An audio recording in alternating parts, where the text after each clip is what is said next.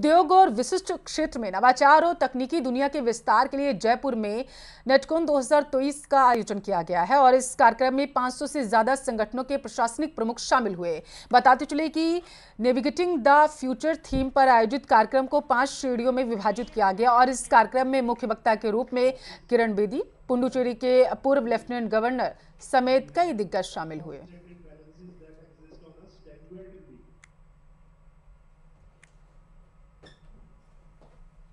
प्रशिक्षण विकास कार्यक्रमों के माध्यम से हम समाज के प्रत्येक व्यक्ति का विकास करने के आ, के लिए प्रतिबद्ध है। Helping we help people to grow this इस मोटो और इस टैगलाइन के साथ काम करते हैं। इस नेटकॉन 2023 की जो थीम रखी गई है वो है नेविगेटिंग द फ्यूचर जब हम फ्यूचर की बात कर रहे हैं और सतत विकास की बात करते हैं तो राष्ट्र निर्माण की श्रृंखला में आगे बढ़ते हुए पाँच क्षेत्रों में हमने बात की है। H T M L S human resource development skills जो कि आज राष्ट्र की जो प्रथम जो हमारे राष्ट्र के प्रधानमंत्री द्वारा भी जो एक पहली कॉल दी गई है, वो है स्किलिंग की। स्किलिंग के क्षेत्र में आईसीडी काफ़ी कार्यरत कर काम कर रही है। टेक्नोलॉजी और इनको इन्वाइव करते हुए